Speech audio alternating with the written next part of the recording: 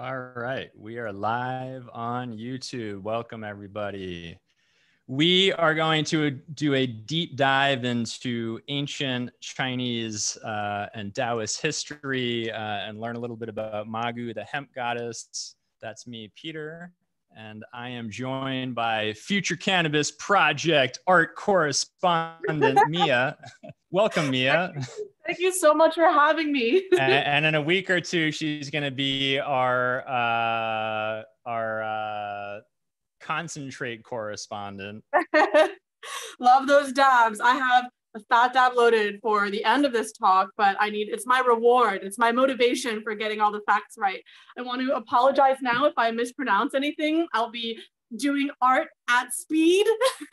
and also, not all the primary sources I found had pinyin with the appropriate tone. So I just want to say that now. Sorry if I mispronounce anything. yeah, you you probably uh, speak Chinese better than anybody watching. So. I don't see the video popping up on the channel. Am I on the right page?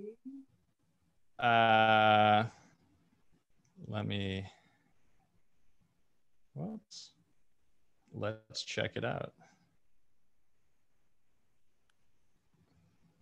Yep, I see lots of people. You, can you guys all see us and hear us?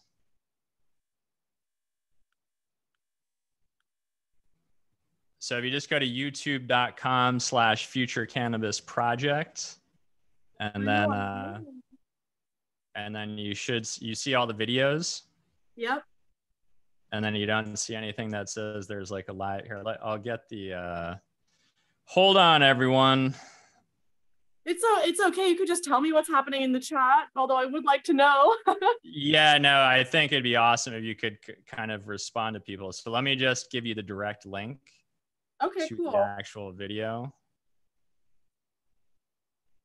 I'll be have, patient, uh, everyone. So yeah, where thanks people? for- uh, Thanks for hanging out. where are people tuning in from while we're waiting? Um, all right, let me send you. Chat. Okay, do you see the little chat window?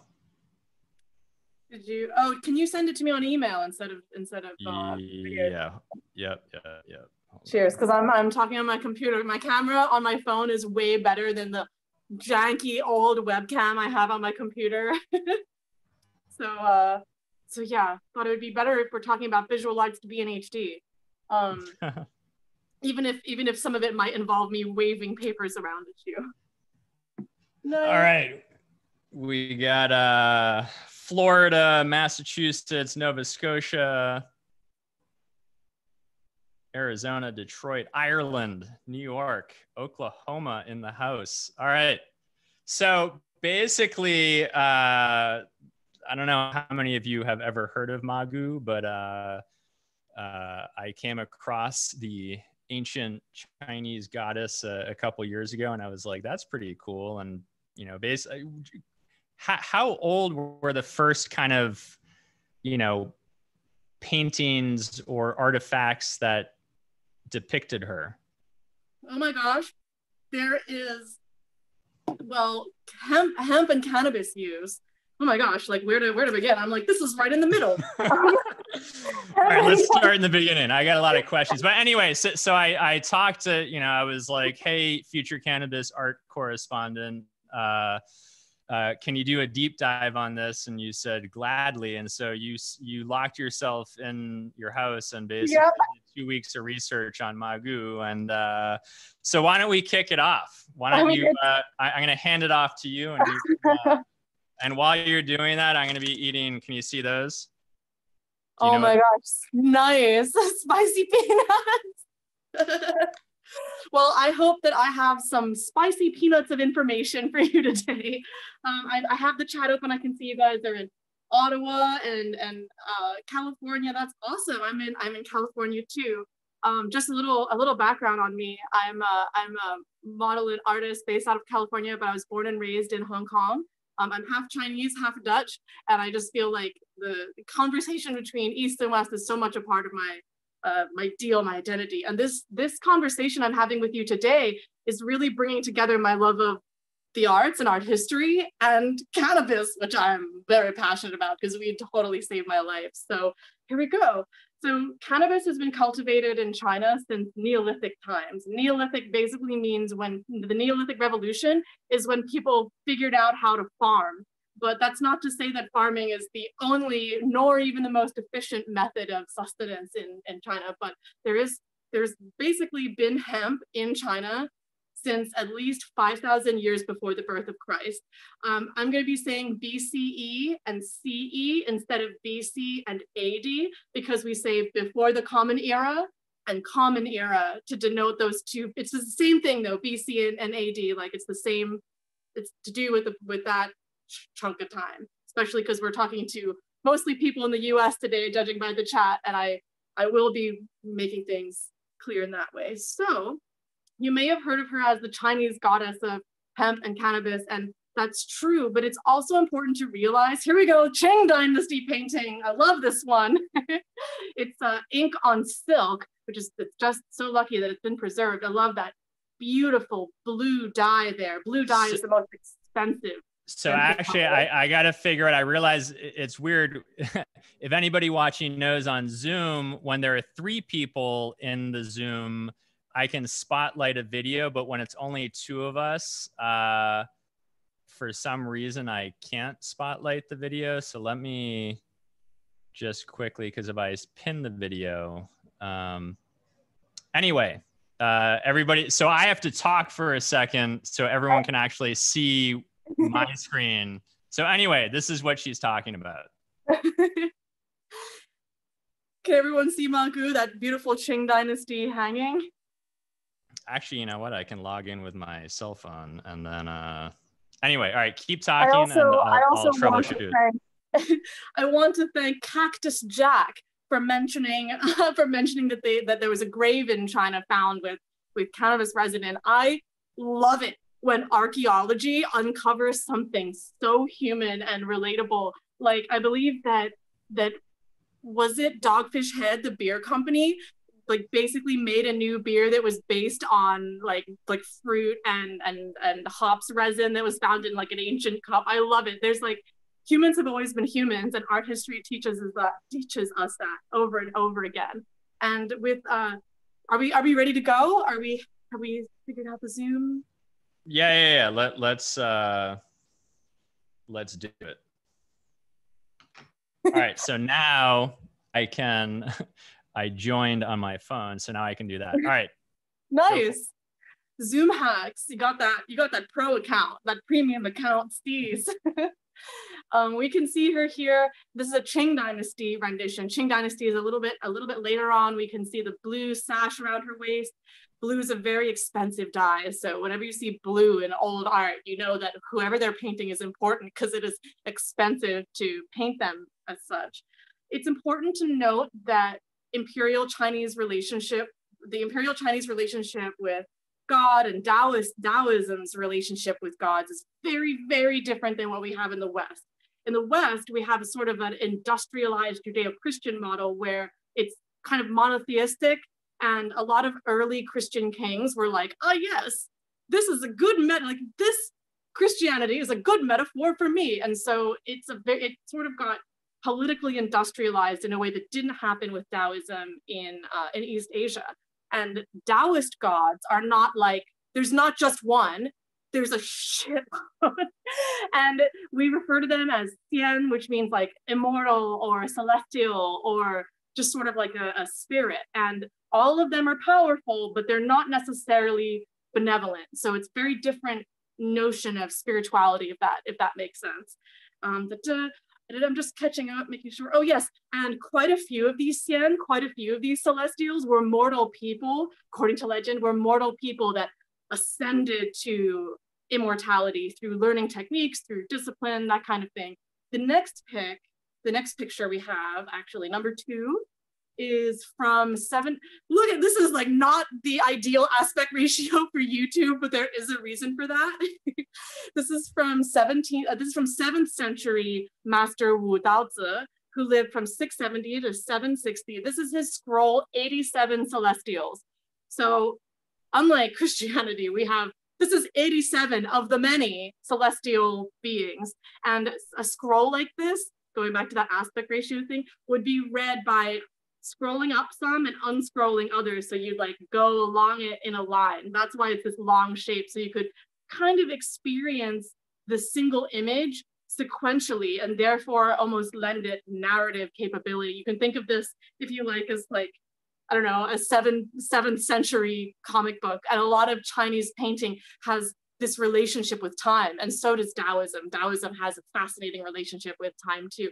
So look at all these celestials. They're dressed to the nines. They've very elaborate coiffed hair, lanterns, lots and lots of fabric. I mean, this is a time when fabric's woven by hand. So you can tell how, how fancy these people are. these are 87 celestials, but I also wanted to give a more sort of uh, like literal, I guess, example of a mortal person who ascended to spirit, like to godhood or to immortality in, in Taoist canon. And one of the examples is actually Confucius. We have, that's our next picture. Uh, from This is an image of Confucius from the Tang dynasty. So despite Confucius founding a whole school of thought that is like separate from Taoism, in in sort of a from the Taoist religious perspective, he ascends and has become like one of these Xian by, but just kind of the long way around. It's kind of like he's achieved Taoist spiritual goals kind of in his own way. So I want to give a, a sort of a historical example of someone who's considered having achieved apotheosis. Apotheosis is the process by which a mortal becomes a god. And so ascension is also another word that's often used, but apotheosis is very common in Roman art history. Like if you see sculptures of emperors becoming gods, that's, that's what it's about. Um, and this notion of immortality is re relevant to Ma Gu, the hemp maiden, because she's very much associated with longevity. And this sort of immortal Xian thing is appropriate for her, be it in Taoist philosophy, where she would be considered, where immortality is about being spiritually immortal, or in Taoist religion, where it's about being physically immortal, or in Chinese alchemy, which is about the pursuit of the elixir of life. So Ma Gu is heavily, our hemp maiden, heavily associated with longevity and the elixir of life, and in all those different subcategories too, which I think is fascinating. I've blabbered on for quite a bit now. So I want to pause and check the chat and see if we have questions. I think everybody's rolling their joints right now. Um, uh, question... He asked us, did Confucius smoke pot? Oh my goodness. I wish we had more evidence, but we don't know. We are going to hit upon a pretty great scholar, though, who who, who did smoke weed, uh, an early Chinese scholar and philosopher who did. Confucius, we simply don't know. Um, he was writing after, he was writing before the, the Warring States period, which was which decimated China. China invented total war thousands of years before the West did. And he wrote, so in, in, in that big, horrible warring states period, a lot of a lot of artifacts were lost. So we don't know. But how exciting would it be to find a resin pipe like uh, Cactus, Cactus Jack mentioned? Absolutely, that's funny. um, yeah, so I think it's time we should actually look at the Chinese characters because this, I am hoping, will blow more minds than mine. This is Ma Gu. This is the Chinese, modern day Chinese script. So on the left, Ma uh, is the word for hemp, and on the right, Gu is the word, it's a sort of a word for maiden, uh, young woman, but it's also a word for aunt, like your, your father's sister is referred to as Gugu, like, uh, but if we go to the next slide, we'll have a closer look at the word for hemp. Let's see. So this word for hemp is comprised of a radical for a roof and for plants. These two, uh, the other two radicals inside the roof is the word for tree, but it's it's twice. So it's like plants. I, I like that it literally looks like uh, drying, you know, weed drying on a on a hanger. Right. I I think I feel like I once I saw this character, I was like, oh my goodness. It this character is from a Bronze Age ideograph. So it's it's really, I'm like, I'm such a nerd for language. I'm getting goosebumps literally, literally thinking about this, but it's like human history hidden in our language. And here you can see hemp plants drying in a shed, and that this pictogram is is still in modern use today. this word uh, ma also shows up in the Chinese word for anesthetic, which is ma zui, but it can also mean narcotic. So isn't that telling? um, and I believe the next picture is of that Zhou age, um, the Bronze Age Zhou Dynasty ideograph. Um, and I think if you had to write that a lot, it, it, you know, to make it, this happens with a lot of language. In order to write that character faster, those those lines will like slowly join up and become what we have today. But it's just fascinating. The Zhou dynasty happened, uh, it ended 300 years BCE. So, so plants were hanging in a shed in China at least 300 years before the birth of Christ. um, yeah, I think it's cool. I uh, people who follow me will know that I, I don't know how to grow, but I really admire growers. And I just feel excited to present this character to people who might see this kind of thing every day. Okay, etymology. Oh, yes. Um, so in Korea, Magu is called Mago, and she figures as an important. Uh, Am I on the right slide? Oh, this that's the next one. Yeah, we'll go. We'll go through. Uh, we'll get there. I didn't. I didn't. I. It's fine though. I didn't pull any Korean or Japanese art for this, but I did find some idioms. So in Korea, Magu is called Mago, and she's sort of more of a progenitress, a sovereign. She's often also a giant. Like she's just physically a lot bigger in creation myths. But in um, in 2004, Korean scholar Hye-Sook Hwang wrote their book an investigation of gynocentric unity uh, in Mago, the East Asian great goddess, and elsewhere. And this is a quote from that book. They write, Magoism, the archaic gynocentric cultural matrix of East Asia, derives from the worship of Mago as creatress, progenitress, and sovereign. So very much sort of part of the creation cycle. Um, and in Japanese, Magu is called Mako, but there's a lot of different tones. So not every Mako is a reference to Maku, but she's called Mako, and she's also known for having long, beautiful fingernails. So uh, I'm gonna murder this pronunciation. I don't speak Japanese, but if you were to say Mako Soyo, Soyo, I think, it's an idiom which means uh, Mako is scratching an itch, which means things are going as planned, which I like. That's funny. We've talked about the, the differences between uh, sort of Eastern and Western relationships of spirituality. I think one of the most striking is one of the most striking is the difference in sort of the physical context of worship. In the West, we have cathedrals and churches and this kind of thing. But uh, Taoists, and this is the next slide, uh, have these things called grotto heavens. And a grotto heaven or dongtian is a beautifully appointed place in nature where you can go and and practice meditation or whatever you need to do and it's very much in a garden or a mountain or park somewhere scenic wonderfully appointed to achieve your spiritual goals but not the alcoves themselves can be man-made but it's very much not about being in a, like a big enclosed cathedral like we might imagine a place of worship in the West. But that isn't to say that there aren't rules and there aren't very like, they aren't like very uh, special and limited because I believe there's only 46 official Dongtian and um, Magus is the 28th of them. So this is this is one such example of like a, a holy cave. Uh, Magu's grotto heaven is on Magu Shan, which is Magu Mountain, which makes sense. Um, let's see, just making sure. Da, da, da. Grotto Heaven. Yeah, I don't know about you guys, but I really like the idea of sort of trying to achieve spiritual goals in nature rather than wait. So, yeah. so, so just quickly, you said she's one of twenty-eight what deities? So, or...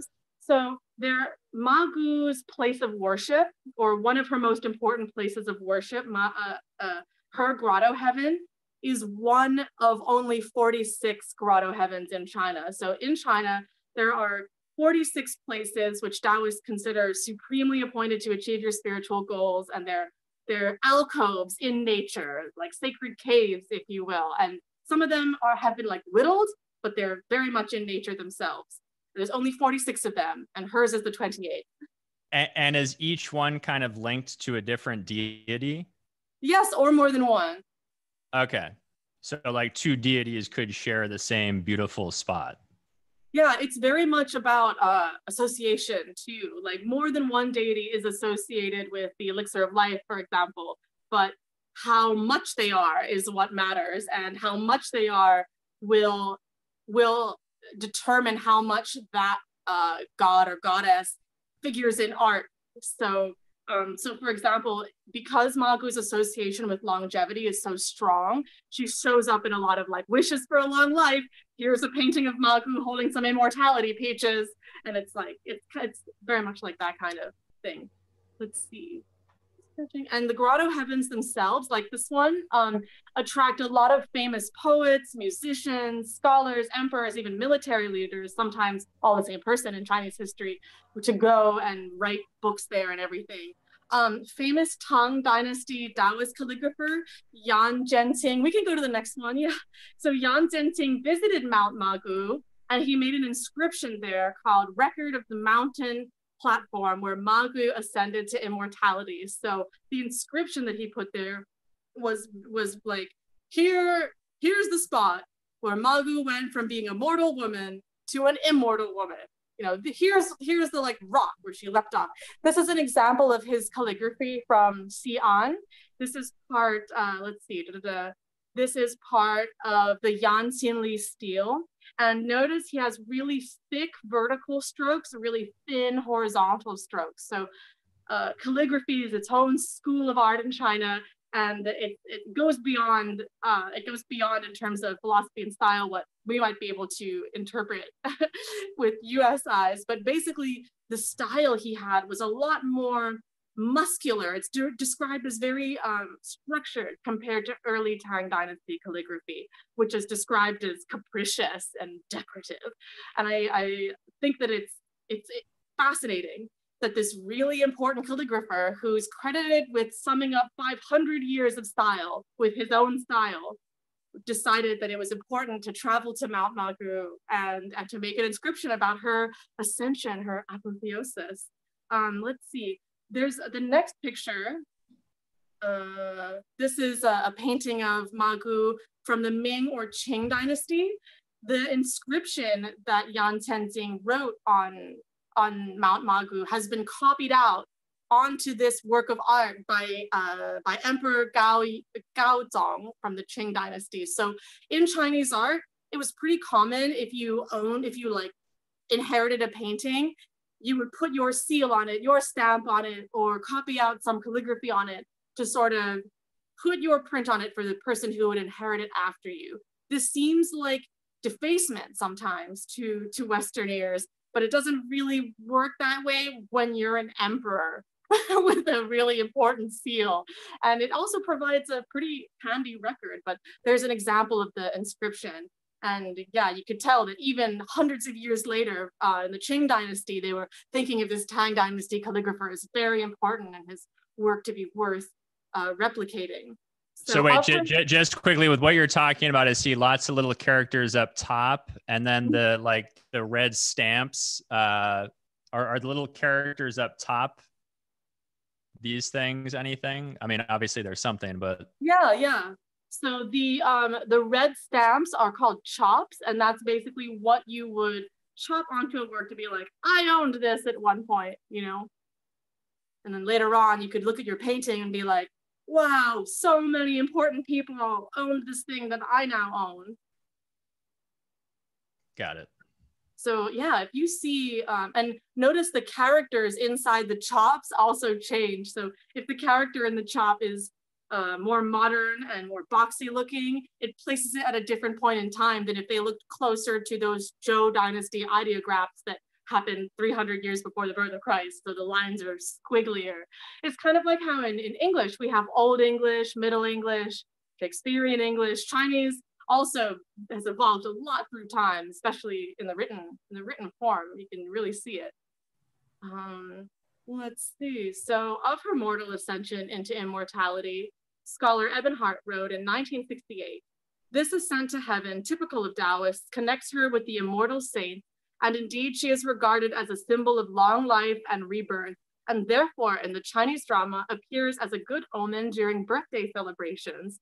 So she's very basically a popular deity to have around on your birthday. And the next picture uh, is an especially, um, this next picture was uh, recently sold, actually, this work of art is called Birthday Wishes from Magu. So this is a, an artwork you might give to someone on their birthday to wish them long life. And there she is with her peaches of immortality and some leaves, which they could be hemp leaves, but you get the idea. Like, I, I wish you long life. Here's a painting of Magu. And yeah, so this was painted in 1951 to give you an idea of just the span of time. All right, any questions before we move on to some like origin story stuff? I'm just checking. Uh, so, so, so you you you actually just mentioned and uh by English, I mean someone who speaks English natively. I don't know if he's American or or uh, British or something. But wasn't it only in like the '60s that kind of the West discovered Magu? I like Western I, scholars or something. I think I read something like that. Yeah, yeah. There's uh, Joseph Needham is a scholar we'll be talking a lot about, and he and his all team did a lot of research, and it was very much like seven. All the publications I've been looking at are all like late 60s and 70s stuff for sure. I feel like a lot of work um, for sinographers is, is it's very inscrutable sometimes until you like roll up your sleeves and you're like not afraid to deal with thousands and thousands of years for sure. And, and then the translation too.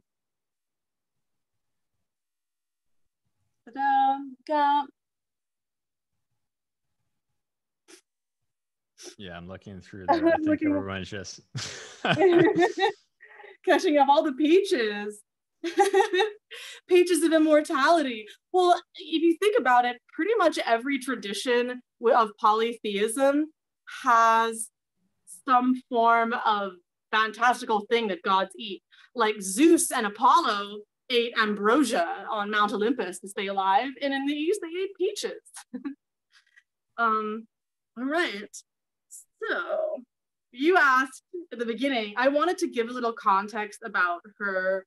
Um, I wanted to give a little context about Taoism and her places of worship and all that before we moved on to the hagiography and and hagiography. Hagia is the Latin prefix for sainthood. So whenever you see hagiography, it means writing about saints, writing about holy individuals. And I, I only just learned this yesterday, and I was like, um, but I was like, oh, maybe that's why Hagia Sophia has that name, like Saint Sophia, right? But um, I wanted to give a little context about uh, Eastern spirituality in that way and the theism relationship being so different than Christianity before we sort of dive into some scripture. so the earliest description, the earliest writing we have about Magu is in biographies of the divine immortals by Ge Hong from 317 CE. So this is 317 years after the birth of Christ. At this point, the Roman Empire is falling apart and Europe is a, is a mess. And this is what's happening in China. This, uh, this hagiography. So in this in this biography of the divine immortals, Ge Hong writes, um, writes about uh, burning cannabis in ritual incense burners. And so the image we have there, the Tang Dynasty ritual incense burner, that would be like a, a tabletop kind of thing. That's number, let's see, birthday wishes, number 11. And it's really beautiful. Um, so he wrote about burning cannabis in ritual incense burners. He wrote, for those who begin practicing the Tao, it is not necessary to go into the mountains. Some with purifying incense are also able to call down the perfected immortals. You may use such an incense burner to do that purification, but not all of them were tabletop. The other picture we have is of one that's on a chain that I, it's Tang Dynasty, Tang Dynasty incense burner but I, I really like it. It looks to me. Wait, almost... sorry. Am I am I cut into this thing? Yes, Is please. That, uh, the next sorry. one. Yes, please.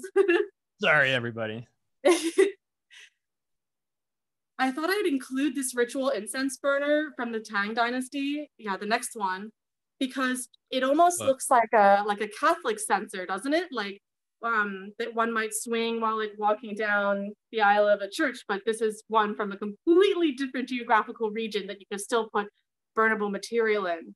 I feel like I feel like as a modern stoner almost looking at this, I'm like, but then how are you gonna get all the smoke from the hash and the this? I'm used to seeing volcanoes and I'm like, when are Storz and Bickel gonna make a ritual incense burner? but it's just I just think it's beautiful and you can see how it would swing and then there's a there's I don't know if that's like a gyroscopic thing to hold the hash in, but fascinating and definitely Uh, only yeah, for yeah, yeah, no, I see the little gyroscope inside. Tang Dynasty, so really relatively early too. So we can we can keep this up while we talk about Ge Hong's writing. So Ge Hong uh, wrote about a man named Wang who quits his official post working for an emperor and heads off into the mountains to try and achieve immortality. Wang's friend said he will return on the seventh day of the seventh month. So note this seventh day, seventh month thing. Upon returning on the seventh day of the seventh month, the now immortal Wang wishes to invite Ma Gu to join in the celebration. So this is the earliest piece of writing we have about Ma Gu. He says, it has been a long time since you were in the human realm. So it turns out that in this story, Ma Gu is spending time on this mythical island called Penglai, like sort of how we have this mythical island in the West we call Atlantis. In, in the East, East Asian Sea, there's supposed to be this mythical island called Penglai. And some think that the legend was started by a mirage effect that happens in the, in the north. But on this island is the fountain of youth, the elixir of, of immortality, all this stuff. And she spent a lot of time there. And so much so that she responds by invisible messenger and says, without realizing it, more than 500 years have passed. I think we've all lost track of time too, for one reason or another. Um, I'm just gonna read the quote now, if that's cool. So, so let's see. So this is the excerpt from Ge Hong's writing. She appeared to be a handsome woman of 18 or 19. Her hair was done up and several loose strands hung around her waist. Her gown had a pattern of colors, but it was not woven. It shimmered, dazzling the eyes, and was indescribable. It was not of this world. She approached and bowed to Wang, who bade her rise. When they were both seated, they called for the traveling canteen. So a traveling canteen is a, a magic feast that immortals can summon at will. So they both like summoned it, like at the like at will, this amazing traveling feast. The servings were piled up on gold platters and jade cups without limit. There were rare delicacies, many of them made from fruit and flowers, and their fragrance permeated the air inside the home and out. When the meat was sliced, it resembled broiled mo and was announced to be kirin meat. So uh, if you go to the next picture, if any of you have played Monster Hunter World, you may have battled a kirin, but it's a chimeric animal that some people will call like Chinese unicorn. But that's what Ma Gu, Yep, that one. That's what Ma Gu and Wang are eating in this story. They're eating a, a, a, broiled kirin. They said it resembled mo, which is a word for a tapir. I don't know if you've ever seen a, a tapir. They're like the large land mammals with strange noses. But yeah, I don't know if you would eat one of these. This is a Qing Dynasty sculpture of a kirin. I'm just checking. yeah, I am a gamer. so I swear, I like without like video games and smoking weed is just what gets me through the day, man. and art.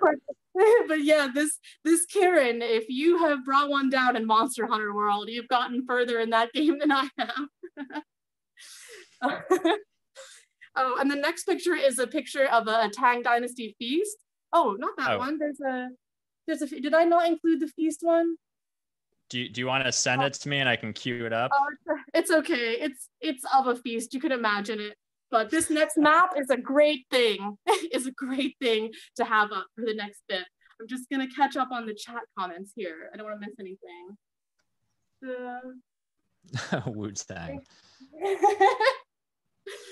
I've heard that Wu Tang Clan are nothing to fuck with. heard, correct me if I'm mistaken. Yeah. they have those at the tea house in Portland. Oh, cool. Yeah, they're like they're they're like guardian animals a lot of the time, like protective spiritual beasts.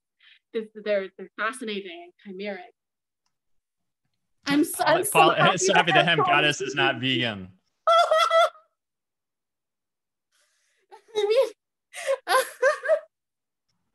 I mean, is this 300 years after the birth of Christ? And I was looking at broiled mo, and it does translate to, to tapir, but it also translates to giant panda. And I'm like, the idea that there were enough pandas around that you would just eat them is such a foreign concept to modern day China, like where they're very, very protected, treasured beasts. Like, Right. There must have just been a lot Ta- more. Taking down a panda that's just like sitting there quietly munching on bamboo and minding its own oh, business. No. Although I feel like stoners can relate to a panda's attitude on life a lot of time. It's yes. like, yeah, looks like some good priority. yeah. Uh, one day I want to travel out east and see the architecture and landscape on the bucket list. yeah. So before, I actually, why don't we queue up the map and then? So you're you said you're from Hong Kong, but have you have you spent a lot? Have you traveled around China at all? Or yeah. Um. So, so one thing you got to know about Chinese art history is that a lot of Chinese imperial art was burned, destroyed, and ruined, just like desecrated during the Cultural Revolution. So if you want to see paintings and sculptures, you got to go to Taiwan, where the previous uh, regime kind of just like took them all. But in China, you can still see the architecture that still stands, like the Summer Palace, which we'll talk about. The Great Wall is there. And I, so I was born and raised in Hong Kong. I moved to America when I turned 18 for college, and then I decided to stay here. I was like, I had a bagel, and I was like, this is magic. I'm gonna live in the West. um, but for, there are more reasons than that. But I do remember having my first bagel in New York. Um, I have traveled in China a lot though. So as a kid, I traveled in the north a lot. And then um, after I graduated college, having studied studio art and art history, I traveled in um, around Guilin to see some of the mountains that had inspired Song Dynasty paintings. And I cannot, I cannot describe to you how beautiful the topology is in China. Like we don't have anything like it in the US in terms of mountains. This like when you see in Chinese paintings these mountains that go like straight up and down, that's not fancy. They exist. You can go see them. It's really, really something to behold. And Guilin, the the area, is famous for that specifically. It's for those mountains, for inspiring a lot of painting.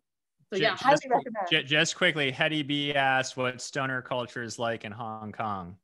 So what's the weed scene like in Hong Kong? Oh, cannabis is very, very much uh, frowned upon in uh, cannabis is classified in the same like ranking as uh, as like ecstasy basically or mdma much more things that we consider much more serious in the west. It is totally illegal but cbd is really trending in hong kong right now and it's been interesting. Um, I have a friend who who uh, who operates a Medi Spa there, and she was talking to me about importing CBD. And basically, in Hong Kong, you can't import anything that's full spectrum or anything with any THC in it, even a trace amount. Uh, and so it's interesting in the West where we have some uh, pharmacological studies that show that having a little bit of THC with your CBD helps to like activate it, you know, you can't do that in Hong Kong. So it's been it's been an interesting thing to to navigate. But yeah, that's a good question. Oh, there are birds in Hong Kong, last cookie. Uh, in fact, there are a lot of cockatiels, the like white birds with the yellow mohawks. They're everywhere. Just checking on. Da, da. just catching up. Uh, Hong Kong, they speak Portuguese still. Last cookie, I think you might be thinking of Macau. There, so uh, Hong Kong was a British colony and Macau was a Portuguese colony. And I know this difference isn't important to a lot of people, but our egg tarts are better than their egg tarts, okay? Hong Kong egg tarts are better than Portuguese egg tarts from Macau. Just saying. I have a lot of pride about our desserts, okay? Hong Kong desserts are the best. Don't fuck with egg tarts. I mean, I'll eat them, but they're not the same.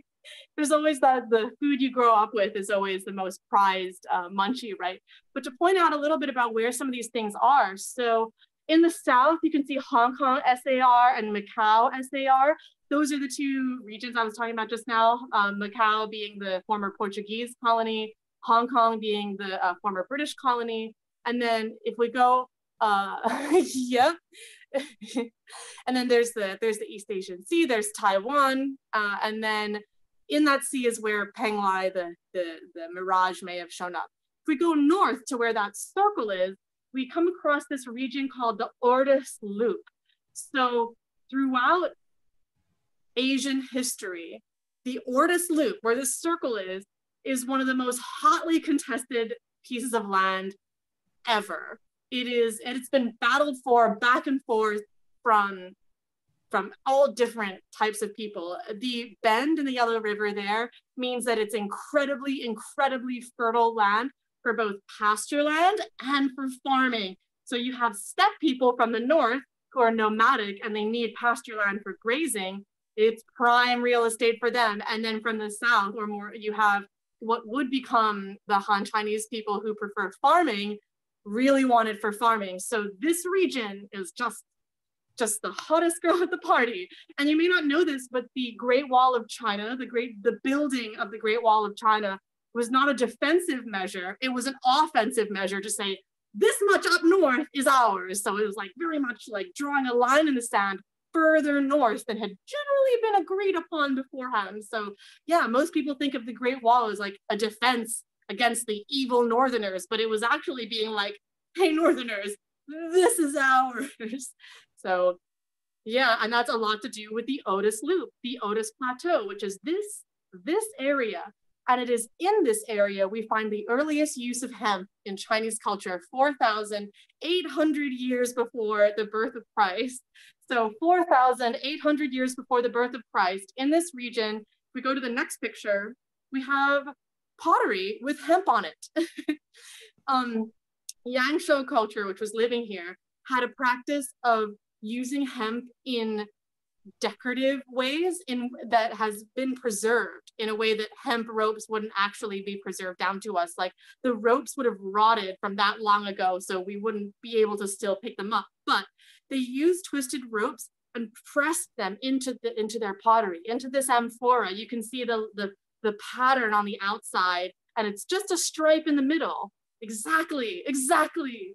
So Yangshao culture people have twisted hemp and they're pressing it into the into the pottery to make that pattern. And this is an amphora.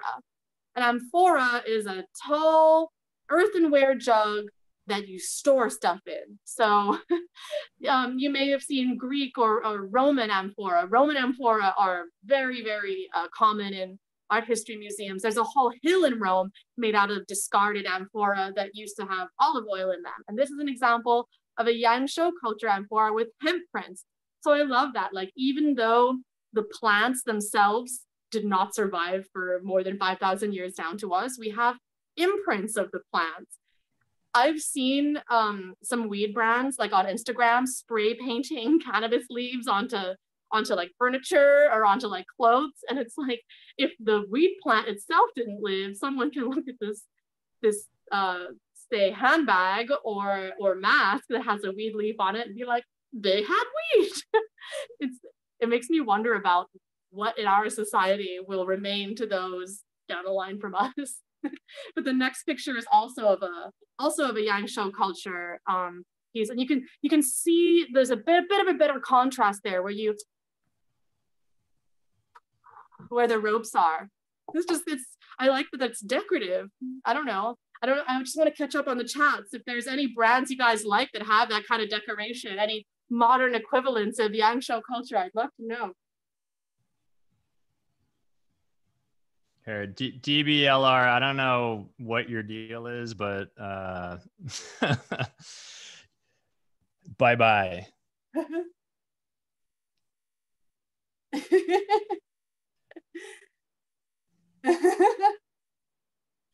okay, so so, so, so what what are you smoking right now?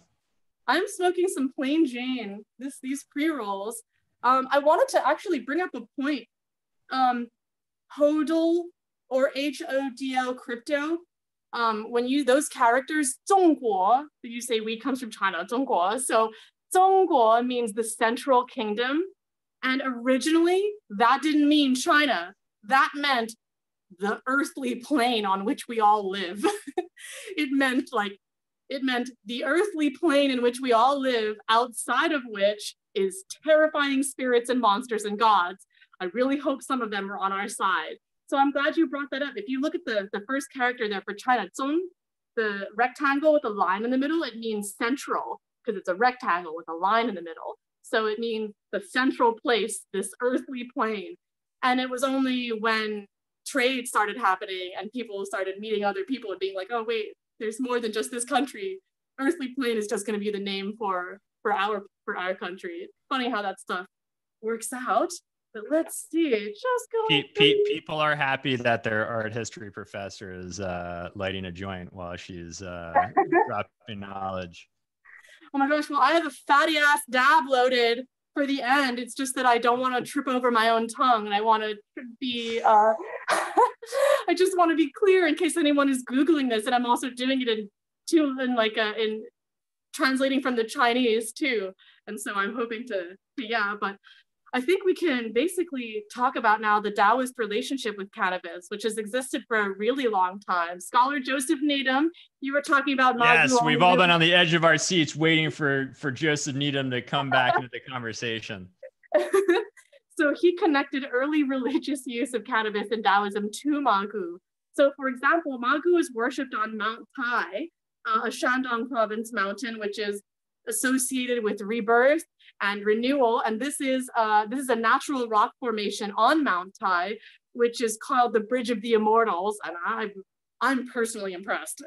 I yeah, uh, that that looks man-made, but that's pretty yeah. impressive. and this is like honestly just a tiny slice of some of the dope mountains in China. Like there are mountains that if they were here would be nationwide famous, but it's like just another mountain because it's in a province full of crazy mountains. It's fascinating. And some of the farming techniques developed on those mountains with the steps are really beautiful because during sunrise and sunset, all those watery steps are like glowing gold. It's really kind of impossible to describe. Uh, sorry, just quickly, where where is this? Like, if we looked at that map. Oh yeah, uh, so let's see, Shandong province. Shandong province is east, super east, It's like on the coast. Okay, so this is yeah. near the coast in a mountain range. Yeah, this is considered the foremost of the five great mountains in China. So this is like a really big deal one. Um, but this, I'm saying that this view, there's like a ton of, ton of beautiful mountains worth seeing. And on Mount Tai, um, hemp is traditionally cultivated. Uh, Needham and his team write that historically, the cannabis harvest that were, were supposed to happen on this place were, were supposed to be gathered on the seventh day of the seventh month, a day of seance and banquets in the Tao, in Taoist communities on Mount Tai. So I want to bring this up again. We were talking about the seventh day, seventh month thing. So Magu returns on the seventh day of the seventh month. Wang returns on the seventh day of the seventh month. Hemp plants are harvested here. And if I'm not mistaken, grower people, please weigh in on this. But from seed to flower, isn't it between six and nine months for a cannabis plant to self-actualize? Yeah, you well usually I mean the the photo period I mean as as the season gets shorter that's what's triggering the flowering and then every cultivar kind of has its own finishing but yes. So but but that 7 months and, and 7 days period sounds right to you? Uh, it sounds close. I guess we don't have a lot of information about what cultivar they had, but this continual sacred repetition of seven months, like the seventh day of the seventh month kind of thing, I think bears a fascinating resemblance to, to botany. And cannabis is also mentioned as growing on Mount Tai in the oldest Chinese pharmacopoeia, which was written by Bencao Jing, uh, who also invented first aid was writing about writing about cannabis, saying, uh, this is, oh, by the way, this is in uh, the Tang dynasty. So he wrote, the flowers, when they burst, are called ma fen or ma bo. The best time for gathering is the seventh day of the seventh month. The seeds are gathered on the ninth month. The seeds which have entered the soil are injurious to man, and it grows on Mount Tai. So I don't like seedy bud either. but I just think that's fascinating. It shows up in the Bencao Jing, which is uh, 100 to 250 years after the birth of Christ. So, the Roman Empire isn't even falling apart yet. And in the Bencao Jing in East Asia, we're writing about seeds. Um, and in the Taoist encyclopedia, the Wushang Biyao, it has a chapter entitled, entitled Supreme Secret Essentials, in which cannabis is described in ritual incense burners. And this is in the next picture is a ritual incense burner from the Qing dynasty. So I thought this would kind of bring in two of the things we've talked about already. This is from the Qing dynasty. It's an incense burner, but it's an incense burner in the shape of a kirin. So Monster Hunter fans again. I, I just I, I love this this image and uh, gives you a better a better look at their face too. But you see those horns, um, just beautiful and, and so elaborate. And yeah, and again, ritual incense burner as the as the primary method of consumption. Again, come on, Storz in Bickel. uh, I, also, I, also, wanted to show you a picture of what Mount Magu looks like today, which is the next uh, spot. And Magu appears uh, relevant to the Taoist understanding of time, which is very cyclic because while worshiping on Mount Magu, Taoist scholars on the top of the mountain discovered seashells. And they were like, okay, time might go in circles. Geologic time might exist, you guys. Things, the earth moves at a different pace than our human bodies do because they discovered seashells so high up. And it's interesting that Taoism has a very, in general, a very cyclic relationship with history and with time. And it's not correct to say that it's circular, but um, I mean, my, my younger brother, who is very much a, into Chinese history, described it as a spiral downward, sort of a, a little bit bummer, but ultimately in a, in a repeating way. So, um, so oceans turn to fields, turn to oceans, you know. So let's da, da, da, so Mount Magu is also interestingly an important Buddhist site but in Buddhist folklore, she's not referred to as like a, a god to be appealed to so much as like a fairy, a fairy spirit. And there are Buddhist folk legends about Mount Magu, where Magu is is like a fairy queen with a fairy king kind of idea. So you can see how these stories can get tangled and, and they would borrow from from one another. Uh, da, da, da, in the Shan King, okay, so let's start by talking about the Shan, King school of Taoism. So Taoism, like Christianity, it's not just one thing. There's a whole lot of different sects. So in Christianity, we might say there's a there's this type of Protestantism and this type of Catholicism, and then of that type there are subgenres and subgenres and and all and different sort of categories. Same thing happens in Taoism. In Taoism, one of the subcategories is called the Shangqing school of Taoism. And the Shangqing school of Taoism uh, was founded um, by a series of revelations, which scholar Joseph Needham says are almost assuredly aided by cannabis. So this scholar, Yang Xi uh, was his name, had them between 364 and 337. You may notice we keep returning to like the 300s, and this is a very, it's a very like interesting time in, in Chinese history. A lot of stuff happened. This is right after the Warring States period where a third of the population was decimated by total war, and, and it was like a lot of like building up from, from scratch again for many people, but that also meant a lot of room for innovation in, in many ways. So um, yeah, oh, and the next picture, by the way, is an inscription of what the uh, of of modern just quickly, uh, let me give everybody some Joseph Needham context. He was a British biochemist, historian, and sinologist known for his scientific research and writing on the history of Chinese science and technology. So, anyway yeah he was on a he was on a team that also included chinese people when doing this research by the way. Um and yeah so then so say yep so that's just a picture of the uh, Magu inscription that you can visit today. And notice that they've written it kind of like if you were to visit a historical a site in English and they've written a quote in old fashioned English, Magu, right, is like written in that, that uh, Zhou dynasty audiograph that we were looking at before. Um, I like this uh, this quote from Yang Xi. So Yang Xi, this uh, one of the founders of the Shangqing school of Taoism, Yang Xi uh, wrote about a 24 ingredient elixir that could be consumed in a mixture of hemp juice. And this is what he says about drinking it, drinking it. A daily dosage allowed one to divide his body and become 10,000 men and to ride through the air. And his successor, Tao Hongjing, found a copy of the recipe, but unfortunately it is lost to posterity, but does make me wonder. I'm sure you've had all kinds of infused drinks, uh, CBD, or otherwise. And I, I feel like next time I have a, a glass of Rebel Coast or something, I'm going to be like, is my body dividing into 10,000 men? Is it? Uh. that would be cool. Although he he uh, purportedly had these revelations where he talked to divine beings at, in the evenings and was edited by Tao Hongjing later.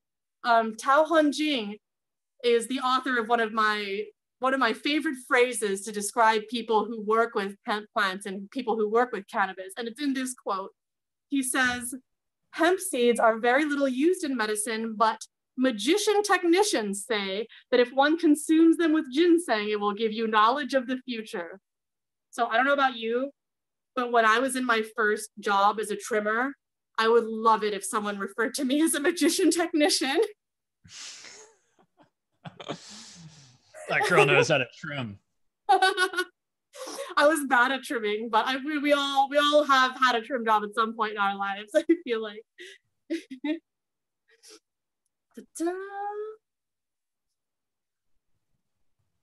okay, and I have a quote from Needham himself um, who says, thus in all, the, the, this is a quote from him that he wrote in 1974. Thus, all in all, there is much reason for thinking that the ancient Taoists experimented systematically with hallucinogenic smokes using techniques which arose directly out of liturgical, liturgical observance.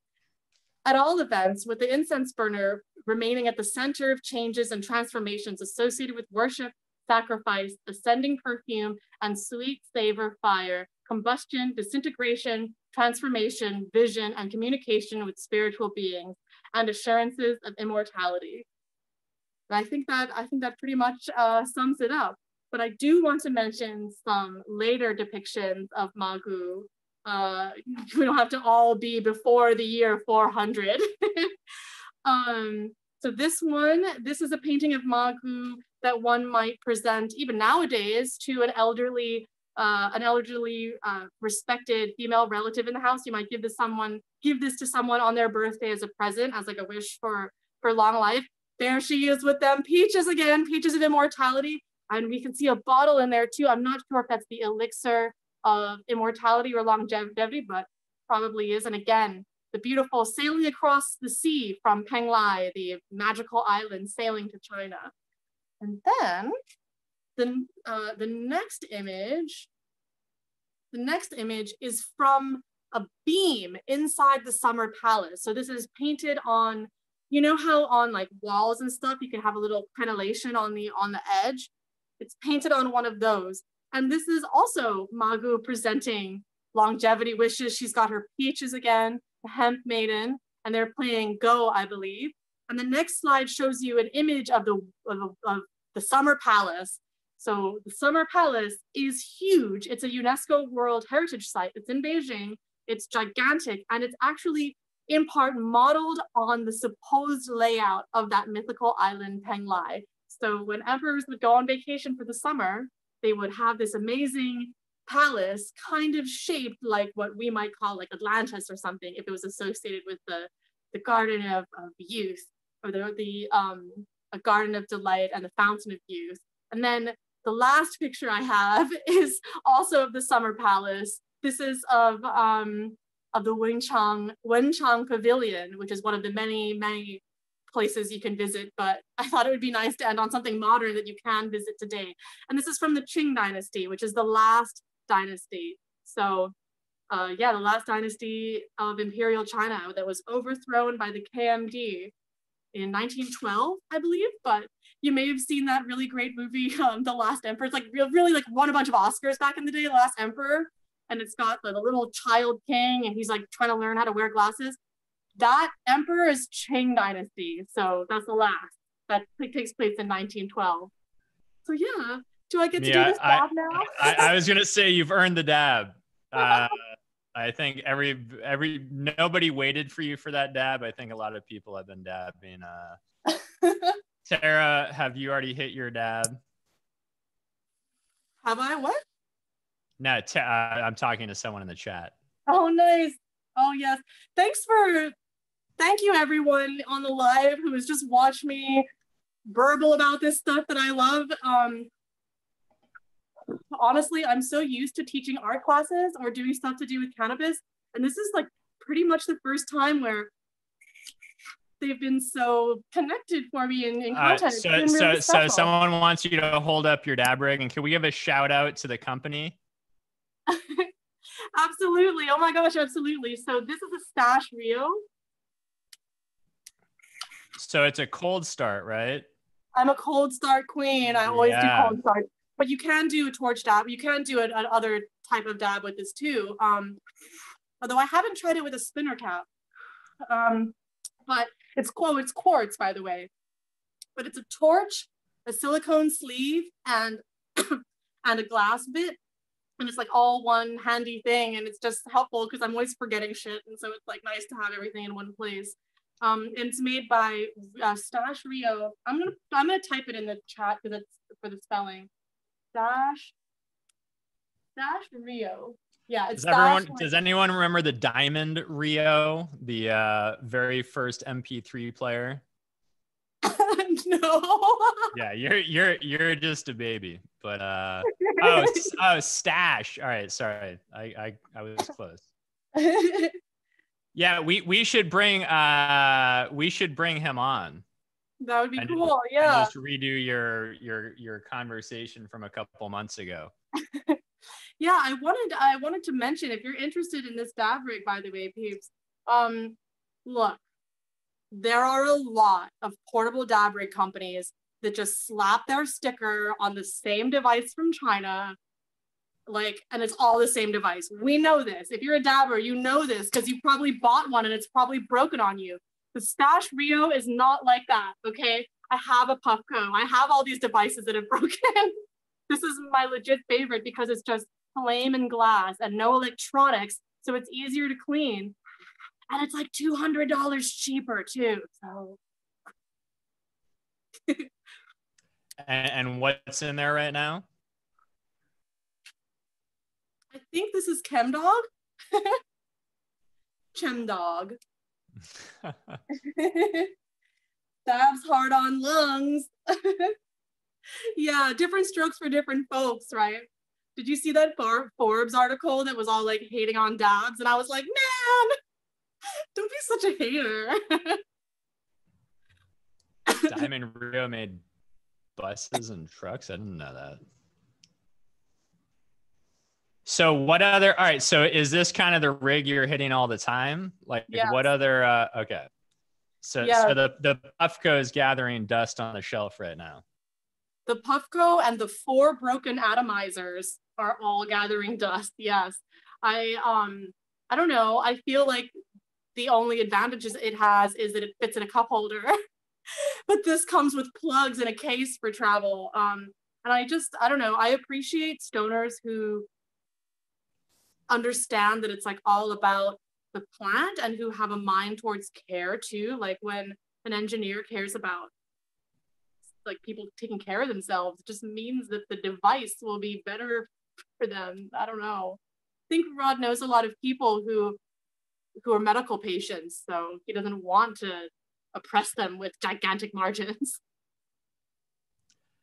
It's interesting. I mean, you were talking about kind of the product made in China and slapped with the logo on. I mean, what what I've seen recently, it's funny at you know the big cannabis trade shows when so historically a Chinese, you know, US brand will have their product made in China and sell it into the US market. And now all those Chinese factories are like, fuck that. We'll just create our own brand and mm-hmm. make the same shit and sell it. Uh, like, Mar- I think Mars Hydro is kind of an example of that with lights. But uh, at the trade shows, you'd see all these booths popping up of kind of the Chinese company making weed gear.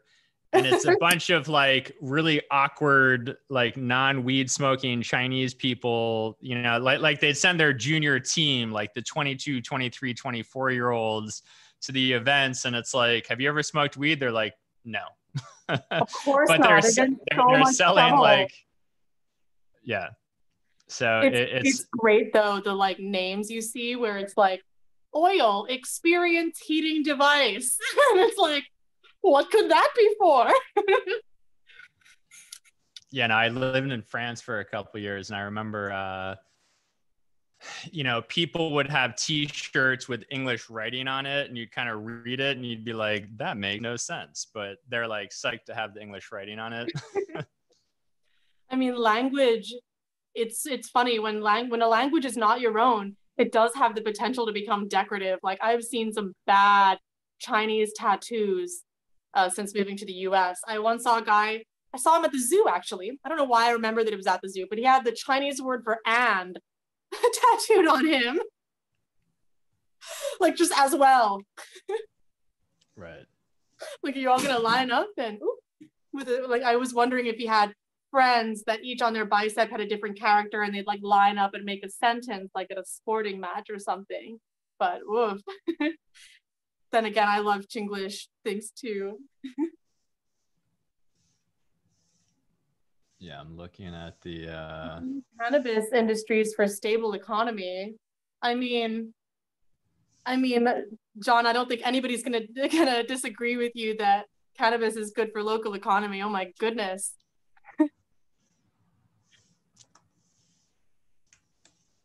Yeah, we know me... about that tax. So you're going to come back soon, not as our art correspondent, but as our dab correspondent. And we'll bring on uh, who, who are you thinking as the uh, first uh, brand we want to get to know? Oh my gosh. Well, where to begin? There's so many danks out there. I feel like I could learn so much from anyone from 710 Labs all the way to a home grower who understands what they're doing. So it's just like there's there's such a diverse um, community to to draw from. I feel like I definitely have a lot of favorites, and I'm gonna ping them all and see see who's down. But well, so yeah. who are some of your favorite? I mean, all, all I can get in touch with the 710 Labs guys, and uh, and so I mean, yeah, we we could go kind of like I love you know, I, I used to organize these things in LA with kind of local, I mean, pre coronavirus, but with local hash makers who were all, you know, either sourcing weed or growing in their backyard and then, you know, making their traditional market branding uh, or putting their branding on a product that, you know, and they sell to their friends and their friends of friends and uh, could bring some of those guys on and talk shop. Yeah or also this is related to this is not dabs but i just really love them and that's why i'm wearing all their jewelry today.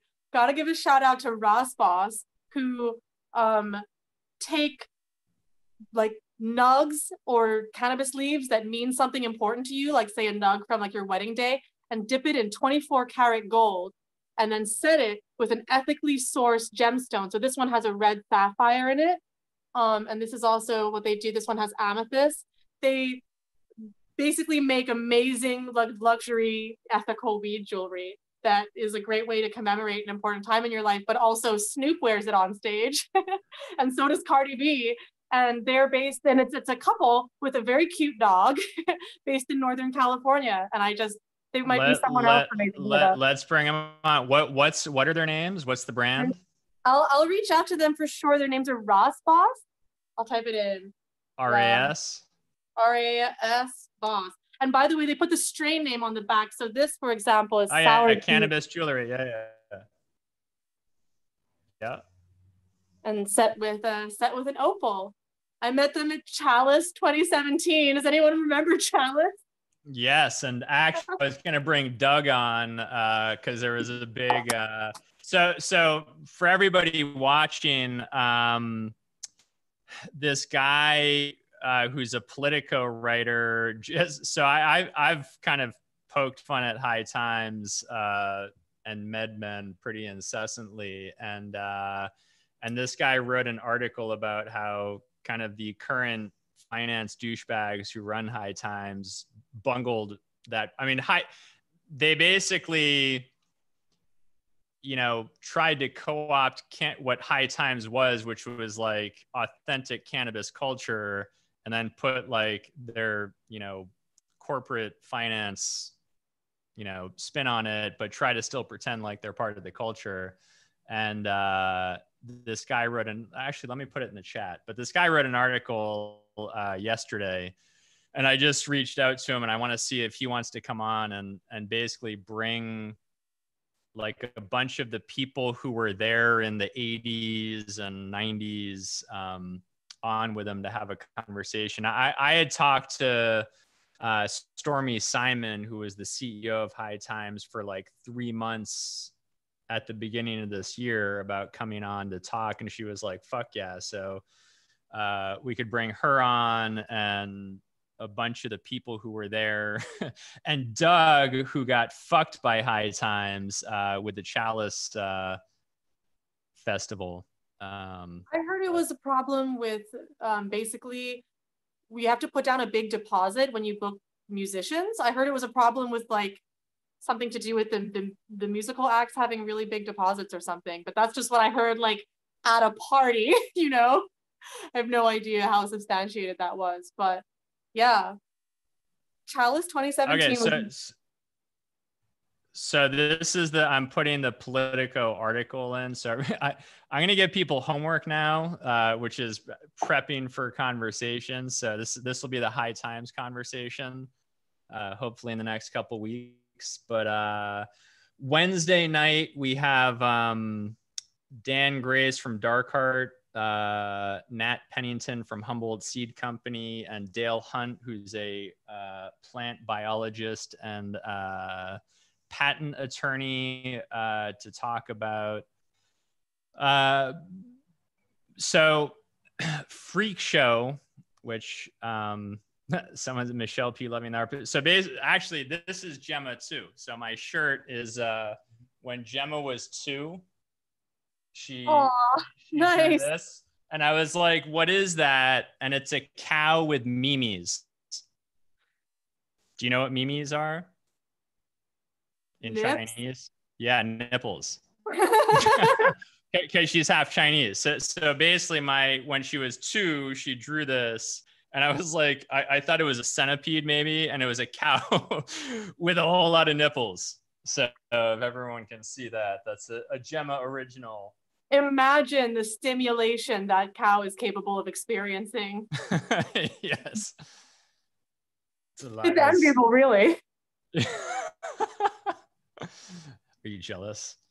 Um, so, so basically, uh, so Wednesday night, so so Freak Show, which was this, uh, there are all these like old school breeders who, you know, uh, like last week, um, we did something with uh, Doc Ray, who you know is a Vietnam or end of Vietnam into the early 80s vet. Um, and he's been living off grid in Humboldt for the past, you know, 30 something years. And, you know, he, he's been breeding and has truly unique stuff. And, uh, you know, sees just this market exploding and, and you have all these small, amazing breeders who don't really know how to protect themselves. And, uh, you know whether they want to be offensive or defensive and not have someone else swoop in and and steal their genetics and then say that they created something and um, so anyway we're going to have a conversation yeah. wednesday night about kind of how does a small craft legacy breeder um, enter kind of the modern weed market uh, like you know specifically in California, but then obviously globally because you can sell seeds. Uh, we need Father Kevin Jodrey to preach the sermon at least. Yeah, well, Kevin. So Kevin, we're doing a a weekly Kevin show, but right now he's at like peak season and he had bulls uh his neighbor's bulls got into his property and oh literally um, bulls yeah two bulls were the neighbor's two bulls were fighting all over his farm and uh while kevin sat there watching i mean i don't know how much bulls weigh like 2000 pounds each but um anyway, Ke- Evan's currently dealing with 120 degree weather up in Humboldt on the hill, but uh, he, he's coming on as much as he can. Uh, you know, we, we, were doing a weekly show, but I'm cognizant that uh, he has some weed to grow and he's basically up on the hill all day, every day. Uh, and so when he comes home, I don't want to be like, the people need you. Uh, so he, he needs some time up, but but he'll he'll he'll regularly like he was part of the auction on Friday night, um, and he actually auctioned off two cuts. And I think Shredder, uh, who's on here right now, is the winner of some Kevin genetics. But uh, anyway, um, all right. So so you're smoke you're smoking. Uh, what was the brand? That one, the this one is plain Jane. Okay. And do you know the people behind it? Do you like it? Uh, not at all, but they were recommended to me by a friend. Okay. Completely out of the blue. I was interested in them because I heard that they. Wait, sorry. Hold, hold, hold that back up. Did that say hi?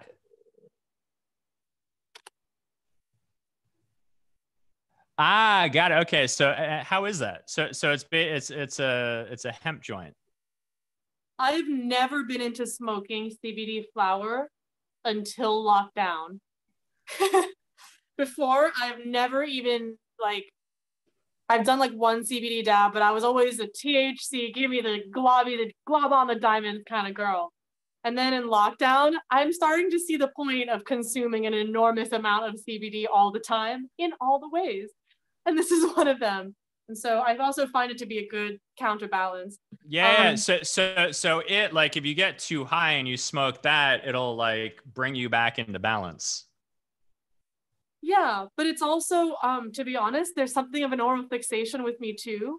Before I discovered dabbing, I used to smoke an ungodly amount of flower every day, and it completely instilled like a joint smoking oral fixation thing with me. Right. And I love I can just dab diamonds now and then kind of keep my hands busy with this.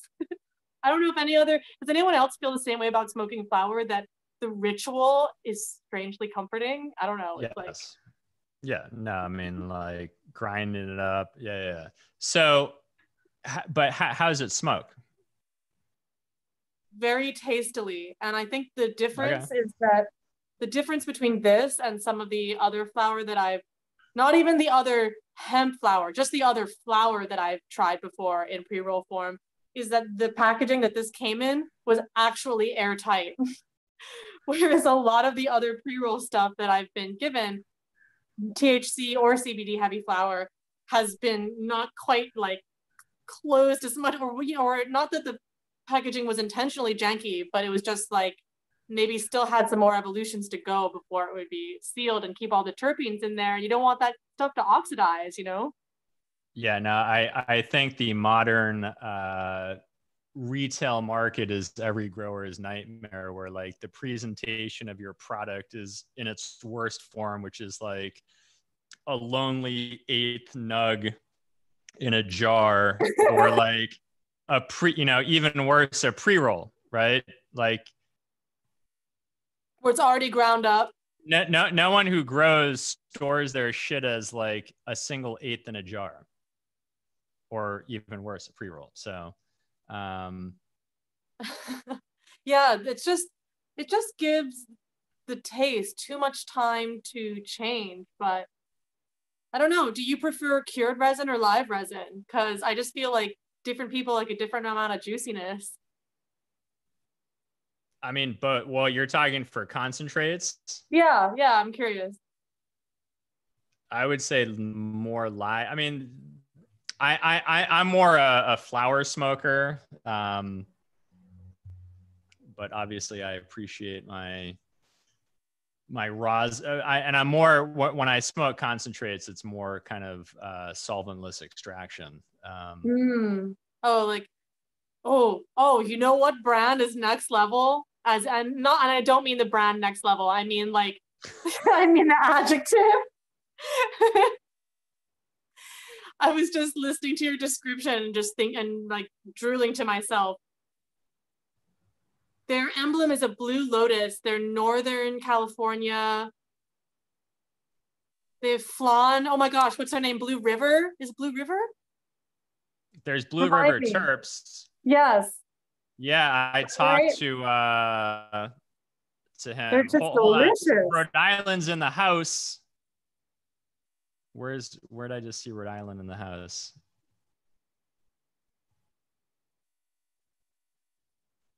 I swear I just saw someone say Rhode Island. I love Rhode I Island. I, I am my first grow. Yeah, yeah. yeah. Uh, so so yeah. So you went to college in so I grew up in in Massachusetts, and uh, every summer I'd go down to Rhode Island, and my parents are there right now. My brother and his wife, who have a um, they have this amazing yogurt company called White Moustache. And so they have a factory in Brooklyn. And then they have a factory or they, they have a kitchen uh, in the um, in the Eataly in LA. And so basically the nice. the owners of the owners of Eataly love their yogurt so much that uh, when they opened the LA Eataly, they said, we'll give you free kitchen space to make as much yogurt as you can and we'll sell it all day long up in the grocery store and and and all the chefs at Eataly use it. Um, but there, so my brother and his wife just bought a place in Rhode Island, right on the water, like tons of land. Um, so anyway, when I saw that someone was from, anytime I see Boston and Rhode Island, I'm very happy being in LA. they're so different. I kind of miss um I've been watching uh Lovecraft Country and I've kind of been nostalgic for New England when I when I used to live there. It's uh, I miss the fall. Every every fall, you gotta miss the East Coast and the way the leaves change. Oh yeah, no, I mean my my kid, I mean Gemma's five now, and the concept of winter, spring, summer, and fall is so foreign to her because there's no there's no indication that things are different in LA. It's like 72 and sunny or 92 and sunny all year long. And uh, there's no like, le- you know, there's no leaf peeping season uh, or anything like that. But yeah, um, LA is a so, weird. yeah. So, so, all right. So we're going to, uh, in the next week or two, raise your hand if you want to see Mia uh, with some amazing concentrate brands. And we'll we'll pick one and go live with them. I think like when I last checked, we had like two, we had like 250 people watching. Uh, let me see how many people are. Actually, go back to YouTube. But yeah, I think that would be um, a lot of fun. Yeah, we have two, two, 260 people watching right now. So, and, and so the other thing, uh, oh, and City Soul Shine Growing. I, I saw your comment earlier about patents.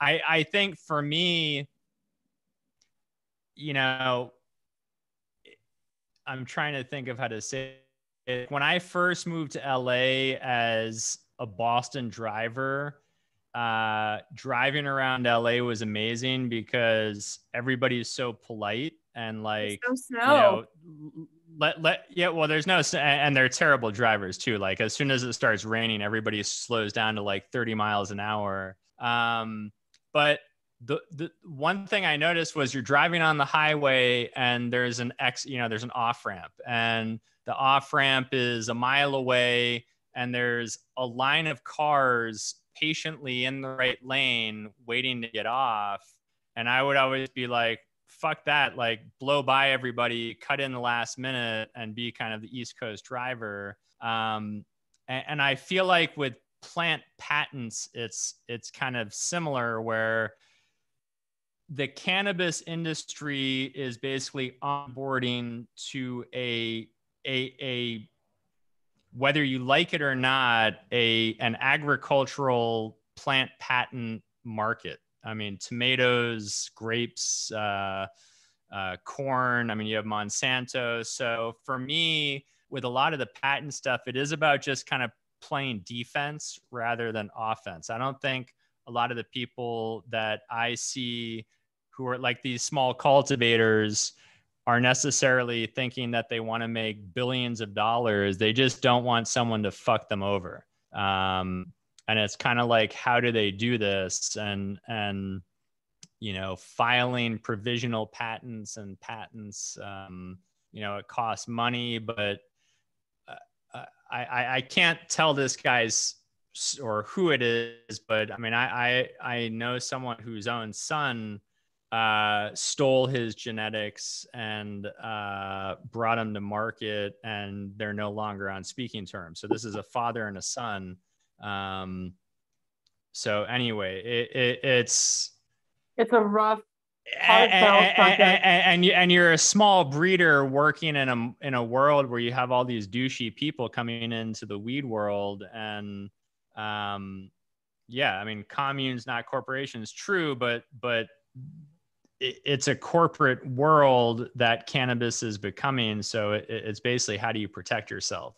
Um, and again, it's not always being offensive uh, and thinking that you want to go out and sue anybody. Uh, sometimes it's it's playing defense and just not wanting to get your shit that like you know a lot of these people are guarding their stuff so how do they feel comfortable sharing it um, without knowing that someone else is gonna like I'm I'm hopefully gonna do something with Mojave Richmond in the next couple weeks. Uh, I forget what we called it, uh, but like the the name change game, like taking something and just calling it something different and uh, and calling it your own. Um, and I can't remember why I got off on that tangent, but uh, anyway, uh, so yeah, Wednesday we'll be talking uh, kind of how small breeders with something unique uh, can bring their genetics to the time market. on Wednesday? What's that? Do you know what time on Wednesday? Uh, that's going to be eight at night. Nice, nice. So if you want to come yeah, join company. Yeah, that sounds cool. so I'm going anyway, live on Wednesday on Instagram anyway, so I might feel like gotta support this small batch person. It's such a fascinating topic too. Yeah, I mean, th- think of all the very small people who have been growing weed for decades who have unique stuff. I mean, uh, I don't know if Steve uh, is watching, but I have a guy uh, in Illinois who sent me a lot of his library, which is all this stuff, um, that I'm going to start popping next season. And he thinks he has a lot of really special stuff. And uh, there's only one way to find out. Um, and uh, he doesn't want it to get lost. And so, anyway, uh, with that, why don't we? Oh, so so the other thing I was going to talk about is you know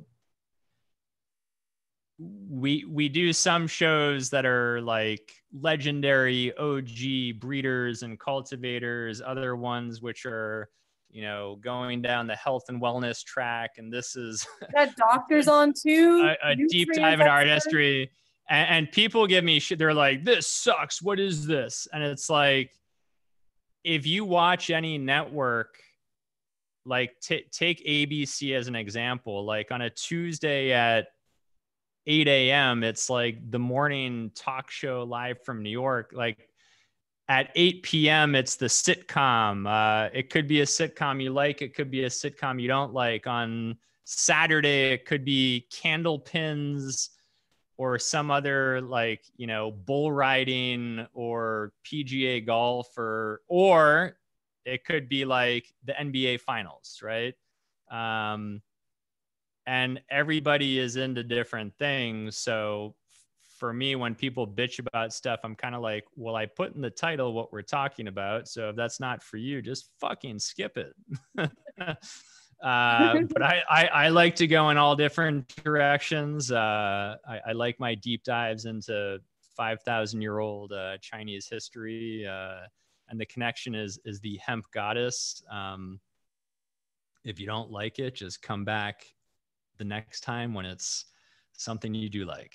So, well, I find thinking about history very comforting these days, even if you aren't a stoner, because it's like, oh, yes, history's lasted a long time. It'll put current times in perspective. like, Shred- Shredder likes his bull riding. Yeah, his paps. Paps. I, I would always get sad on the weekends when like you know, a I'm not a big I'm not a big college football fan unless it's like the end of the season or like college basketball in in like January. Um, so it's like you you go and it's like on sugar, Jesus. Ah, these people.